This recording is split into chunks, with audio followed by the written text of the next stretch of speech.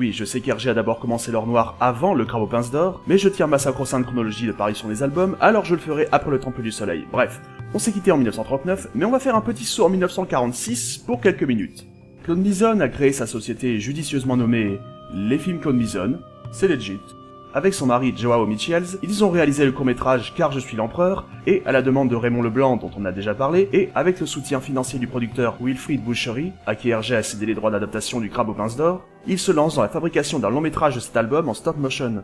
Le budget est fixé à 1 250 000 francs, et malheureusement, Wilfried Bouchery s'avère être assez peu fiable, et les caisses sont vides plus vite que prévu.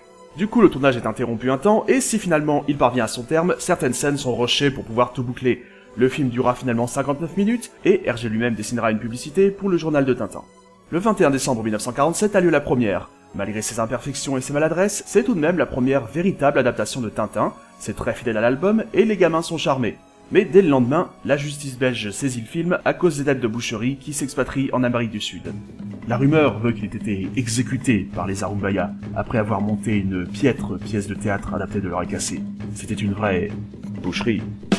Il faudra presque 50 ans avant qu'on ne puisse revoir des extraits de ce film et 60 pour qu'il soit disponible pour tout le monde en DVD. En tout cas, ça a conforté Hergé dans l'idée qu'une adaptation de Tintin au cinéma bien faite avait du potentiel. De toute façon, en théorie, la bande dessinée s'y prête très bien. En témoigne cette séquence où le cinéaste Yves Robert décrypte une planche des Picaros. Plan rapproché, plan général, euh, caméra subjective comme vue par le personnage, plan de détail, raccord mouvement, ce qu'on appellerait retour au plan général, puisqu'il y a les deux personnages, Plan rapproché avant-plan avec profondeur de champ puisque le personnage s'éloigne. Nous repassons un plan américain, porte fermée de l'autre côté. Et nous allons maintenant retourner, en effet, retour du personnage qui a été appelé, avec amorce du personnage qui l'appelle, avantage au personnage principal. D'où, alors, c'est un plan profil, euh, style plan rapproché. Et puis nous arrivons maintenant, amorce rapprochée et plan américain au lointain. Non, bravo Hergé Mais revenons donc en 1940. Je reviendrai sur la situation d'Hergé et le contexte de l'époque dans le prochain épisode, vu qu'il y a beaucoup à dire sur le crabe aux d'or. Un album dont la publication a démarré le 17 octobre 1940. C'est le début d'une période très maritime pour Tintin, car cet album, comme deux des trois prochains, auront une bonne partie de leur intrigue se déroulant en mer. C'est une des raisons pour lesquelles le film de Steven Spielberg va le mélanger de manière assez naturelle à l'intrigue du secret de la licorne et du trésor de Rackham le Rouge. Même si dans la version papier, on semble dans un premier temps partir vers un nouveau trafic de fausses monnaies, c'est très vite laissé de côté, au point que sera totalement ignoré dans la version 92. Tintin va finalement lutter contre des trafiquants d'opium. Encore. Dans un périple qui l'amènera à nouveau dans un endroit fictif, notamment la ville de Bagarre qui se situerait a priori au baroque. À l'époque, l'album a véritablement introduit le personnage du lieutenant je vous en avais déjà un peu parlé dans l'épisode 2, mais il n'a été rajouté qu'à posteriori dans les cigares du pharaon, dans la version couleur de 1955. Donc c'est là qu'à l'époque les lecteurs ont pu découvrir ce méchant qui va devenir récurrent, Alan Thompson. Drôle de détail d'ailleurs, son nom de famille, quand on pense que dans la version anglaise, les Dupont et Dupont sont nommés Thompson et Thompson. Mais ce neuvième album est surtout très important dans les aventures de Tintin, car il introduit le personnage le plus important et le plus célèbre derrière Tintin lui-même, je parle bien sûr du Capitaine Haddock. Enfin le voilà, ami Sabor. Il va devenir ami de Tintin, son meilleur ami humain du reste, ce malgré les nombreux défauts du capitaine Haddock, ils seront bientôt inséparables et vivront ensemble. Le capitaine va permettre à la liste des gentils dans Tintin d'être moins lisse, car c'est un personnage qui ne manque pas de défauts. Alcoolique invétéré, qui supporte particulièrement mal le manque, cyclotimique, enclin aux crises de colère, qui n'hésite pas à verser un flot d'injures envers les gens qui lui déplaisent, et pourtant, malgré ses défauts, mais également aussi parce qu'il a ses défauts, c'est tout de même un personnage appréciable, car de nombreux albums montreront qu'il a clairement un bon fond. Généreux, humaniste, extrêmement loyal envers Tintin, il va acquérir chez les lecteurs une très grande popularité, parfois même auprès de certains une popularité supérieure à celle de Tintin, qui est peut-être trop parfait, quand les imperfections d'Adoc le rendent assez attachant. Le seul défaut que je pourrais citer personnellement, c'est qu'il a aussi un côté, euh, comment dirais-je, gaffeur, maladroit et ou malchanceux, qui fait qu'il est parfois un peu doublon des Dupont en ce qui concerne les gags pot de banane. Mais c'est un peu du chipotage. Je note aussi que dans les premiers albums, Hergé est dessiné pas gros, mais un peu ventru, grassouillé en un mot, et qu'il va clairement s'affiner avec les albums. Pourquoi c'est important? Mais je n'ai jamais dit que ça l'était. Dans l'adaptation de Belle Vision des années 60, en revanche, Tintin connaît déjà le capitaine Haddock. Pourquoi pas après tout, étant donné qu'il le connaissait déjà dans l'île Noire. Sans m'y attarder trop longuement, je vais en parler un peu plus que pour l'île Noire, que vous compreniez bien ce qui cloche dans ces anciennes adaptations. Donc dans cette version, Tintin se balade sur le port et son attention est attirée par une voiture. Les méchants, particulièrement intelligents, jettent un corps à la mer en plein jour. Ils viennent de jeter quelque chose à l'eau. Mais c'est moins cher de montrer un plan fixe du coffre. Deuxième idée brillante des méchants, Ils s'éloignent de leur voiture, ce qui est idéal quand on veut se barrer vite fait. Ils se cassent, comme par hasard, voilà déjà les Dupont, et pour une fois, je vais laisser un extrait assez long, et dites-moi si vous voyez quelque chose qui cloche. Ah, je suis sûr qu'ils doivent se trouver par ici. Je dirais même plus, ils doivent se trouver par ici. Nom d'un chien, regarde. C'est Milou et notre ami Tintin. Que font-ils donc sur les quais? Deux matelots sont arrivés et ont jeté un sac à la mer. Aussitôt, ils ont pris la fuite par là. Voilà qui me paraît fort suspect, sacre bleu. Je vais examiner l'eau. Toi, écoute ce que dit Tintin. On un petit bonhomme. Qu'est-ce qui se passe? Bon, on excusera l'animation et les décors sommaires, c'est assez vieux, le budget n'était pas énorme, ça peut se comprendre. Cela dit, la téléportation de personnages c'est un peu bizarre, je veux dire les Dupont sont sortis bien vite de la voiture et sans bruit, et qu'est-ce que c'est long pour rien? En soi ça ne dure que 25 secondes, mais on a le temps d'avoir plusieurs répliques inutiles, des descriptions de choses que les spectateurs voient, donc encore inutiles, et donc le rythme est totalement à revoir. Et si ce n'était qu'une fois comme ça, mais non, dans les scènes de discussion c'est tout le temps comme ça. Hein. Tintin remonte vite jusqu'au navire du capitaine Haddock, le carabou de Jean, mais se fait assommer et est mis à fond de cale. Le navire part, et là, il manque de se noyer. il s'en est fallu peu que je finisse noyé. Bienvenue à bord de ce navire, jeune homme. Voilà, vous l'avez encore vu le souci de timing C'est genre, on ouvre la porte, assez d'eau pour remplir les deux tiers d'une pièce en sort, plan de coupe sur Tintin pendant 3 secondes, entre-temps, Alan est rentré, tranquille, pas incommodé par toute l'eau qui vient de sortir, hein. Eau dont il ne reste qu'une petite flaque, et qui ne rentre plus alors qu'ils n'ont pas fermé le hublot, hein. Bah donc, le suspense est fini maintenant. Tintin s'enfuit et retrouve Haddock qui ignore tout cet enlèvement et les deux s'enfuient. Malheureusement, Haddock a apparemment subi une lobotomie. Où est Milou? Où est Milou, capitaine?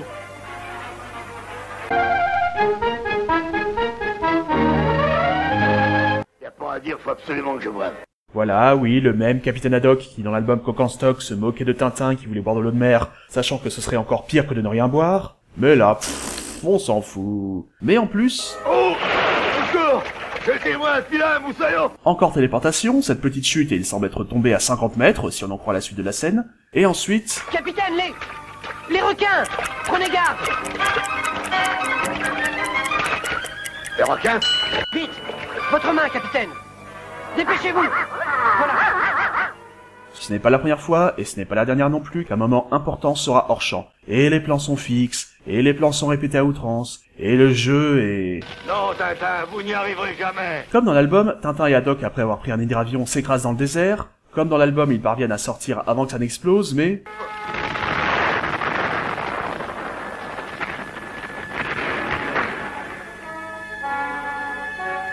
Tintin, vous n'êtes pas blessé non, et je n'ai même pas perdu une goutte d'eau. Tant mieux, Moussaillon, car j'ai les pieds fixés au sol, je ne me serais pas déplacé pour vérifier votre état.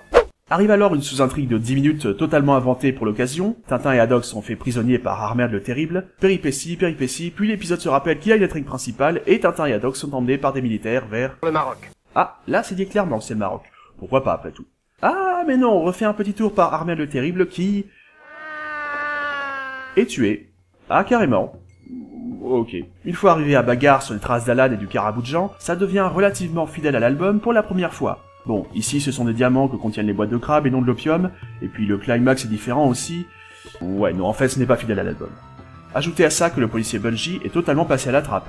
Et si tous ces changements permettaient à l'histoire d'être plus palpitante encore, pourquoi pas? Mais non, les dialogues respirent beaucoup trop, l'action est très très standard, l'animation répétitive donc, et certains dessins... Donc oui, on va passer à l'adaptation Ellipse. Or, c'est le premier à avoir été produit, et les Canadiens, pas encore familiers avec Tintin, étaient là à vouloir que ça pulse, allez, pas de temps mort, on y va Résultat, on ouvre de nuit, dans un port, avec une rencontre entre un policier et un marin. Le nom du bateau. Mais ça, je ne peux pas. Ils me tueront. Quand ils apprendront que tu les as trahis, c'est ce qu'ils feront, que tu me le dises ou non. le marin écrit sur un morceau de papier le mot carabou de Jean, mais notre marin arrive. Emparez-vous de lui Viens, suis-moi. Non Laisse tomber le flic C'est donc ce qu'il nous faut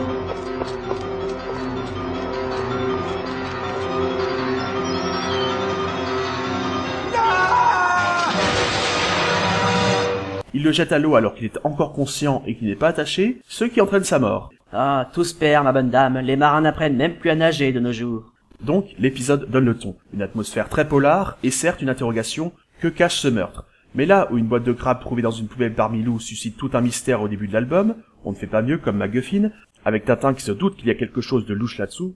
Là, on sait déjà durant les minutes qui suivent que ça va nous mener sur un paquebot nommé Caraboudjan où les marins sont fort désagréables. Pour ceux qui voient ça pour la première fois, ça spoile quand même ce début d'intrigue. Le lendemain, il se passe la même chose que dans l'album. Tintin rejoint les Dupont, Qu'est-ce que c'est que ça? Ah ça, ça nous a été envoyé par la sûreté, trouvé sur un noyer. Je reviens tout de suite. Je vais le suivre. Et sapristi, et il a oublié sa canne. J'ai oublié ma canne. Tiens, à ce propos, ce moment est repris l'album, donc je n'ai pas de reproche à faire à cet épisode en particulier, mais une remarque d'ordre général, euh, pourquoi les Dupont ont une canne de toute façon? Ils sont encore raisonnablement jeunes, manifestement bien assez en forme pour courir, ça ne sert à rien. Mais bon, Tintin essaie de retrouver la boîte de crabe qu'il a achetée, sans succès, surveillé par le policier qui est là... Rentré chez lui, Tintin découvre le nom Caraboudjan sur le morceau de papier de la boîte. En bas, le policier veut le prévenir en mettant une lettre dans sa boîte, comme dans l'album, sauf qu'il se fait à l'origine enlever sans que Tintin ne puisse intervenir. Là, nouvel ajout d'action de l'épisode, Tintin se bat contre les marins de la veille. Cela dit, cette petite scène d'action d'une minute est une des inventions les plus importantes de cette série. Dans le domaine des adaptations, ça reste un ajout raisonnable. Les Dupont ayant eux aussi découvert de leur côté que le marin noyé était de l'équipage du Caraboudjan, ils proposent à Tintin de les accompagner dans leur enquête. Après une tentative de meurtre de l'équipage du Caraboudjan dont Tintin se remet très vite, en même temps a priori ça doit lui arriver 4 à 5 fois par mois, hein, ils montent sur le cargo et font la connaissance du lieutenant Alan. Mais, pendant l'interrogatoire des Dupont, le bras droit d'Alan assomme Tintin.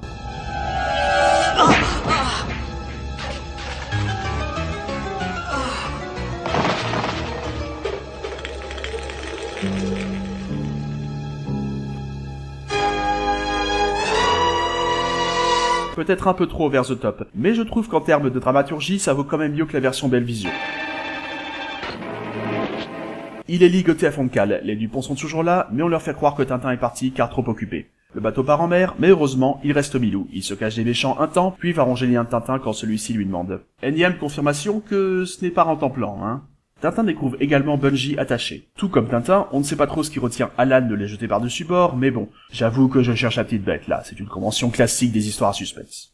Revenu dans sa cale, il se barricade et cherche un moyen de s'enfuir. Visant particulièrement bien, il lance cette planche en plein dans le mille dès la première fois, et finit par arriver dans la cabine du capitaine Haddock, qui fait donc sa première apparition. Maudit cargo je, je, Sachez que j'en suis le capitaine et que je peux vous faire mettre au fer Il est doublé par Christian Pellissier, qui lui donne sans aucun doute la meilleure personnalité de toutes les adaptations de Tintin sur grand ou petit écran. Pour moi, sa voix est parfaite. Les jeux, j'adore ça, euh, doubler. enfin, les, les, les, grosses voix, euh, les, généraux euh, un peu fous euh, dans les jeux, euh, et puis d'autres plus arrondis, euh, plus affables, proches de du conteur aussi. ça, ça me plaît bien. Haddock est un alcoolo et Tintin lui fait réaliser qu'ainsi, Alan peut diriger son bateau à sa guise. Et les staffs, particulièrement les Américains mais pas uniquement, étant frileux de ce côté-là, cet épisode sera un des seuls à parler d'alcoolisme dans la série, pourtant présent dans tous les autres albums. Et encore, même dans cet épisode, on passe sur certains moments amusants, comme Haddock qui fait un feu dans le canot de sauvetage parce qu'il a trop bu, ou alors qui fait un malaise parce qu'il a bu un verre d'eau. Après, je dois admettre que, comme les albums où l'alcool est important pour l'intrigue ont été maintenus, durant longtemps, malgré ma bonne connaissance des albums, le fait que la picole ait été grandement écartée... Je l'avais pas vu Donc, oui, Tintin acquiert vite la confiance d'Haddock, qui est bientôt fixé sur Alan, Alan qui, ayant reperdu la trace de Tintin, charge un de ses matelots de garder le capitaine.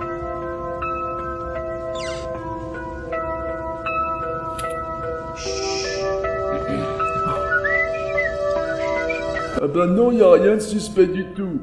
Bon, en même temps, je suis sourd et aveugle, là, pourvu que personne le remarque.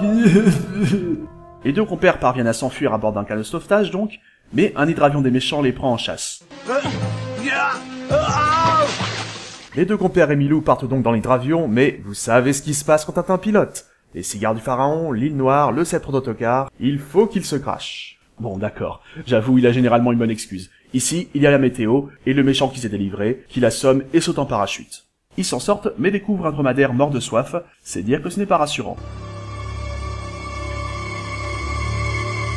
Les voilà donc à crapahuter dans le désert, sans eau. Épuisés, ils s'évanouissent, mais sont recueillis par des militaires. Ce qui leur permet de reprendre des forces et d'aller, avec escorte, vers Bagarre. Mais ils sont attaqués par des bérabères. Mention spéciale à la scène où Haddock, furieux qu'on lui ait brisé la dernière bouteille d'alcool qu'il a fauché, fait s'enfuir, ou du moins le croit, ses bérabères en courant vers eux les abreuvant d'injures. La scène est déjà très réussie dans l'album, ils l'ont bien restituée ici. Il y a même un bref passage musical qui sera utilisé, je crois, uniquement pour cette scène dans la série, la plupart étant habituellement réutilisés dans d'autres épisodes.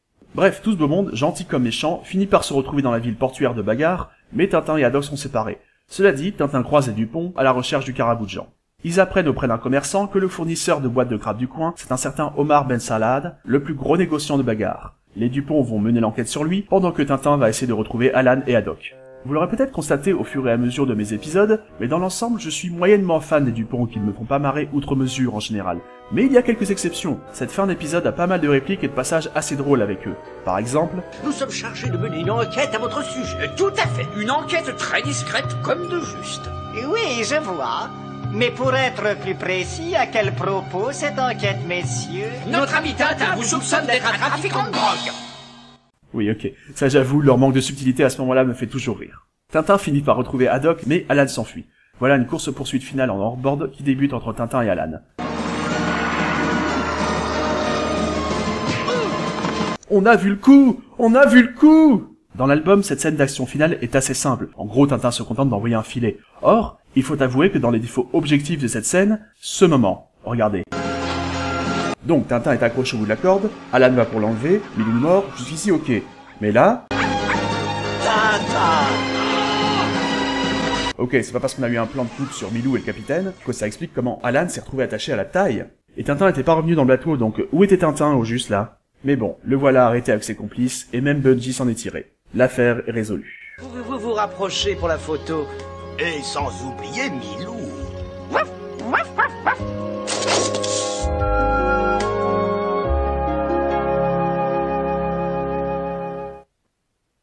Le crabe aux pinces d'or est sans doute l'épisode de 92 qui prend le plus de liberté avec l'album, plus ou moins pertinente, mais aucune vraiment choquante selon moi. Si, avec peut-être Tintin en Amérique, c'est le plus infidèle, alors comparé aux versions des années 60, c'est merveilleux. Et puis, certains changements peuvent franchement se comprendre. Par exemple, Tintin ne rencontre pas Bungie dans le carabou de Jean dans l'album, mais seulement à la toute fin pour clarifier certaines choses. Ici, leur rencontre finale est bien plus brève. Je pense que c'est parce qu'ils ont estimé que ce n'était plus trop l'heure d'expliquer l'intrigue au spectateur, alors que les bad guys ont déjà les menottes au poignet. Finalement, quand on y pense, ça a une certaine logique narrative. Malgré un retour de beaucoup de gros hasards qui, sans disparaître, étaient plus rares depuis 2-3 épisodes, on en a le retour à une aventure assez dense et exotique, après le détour plus zen et moins dépaysant du cèdre d'autocar. De plus, avec l'arrivée du capitaine Haddock en compagnon de Tintin, c'est l'apogée de la série qui n'a pas tardé à s'amorcer.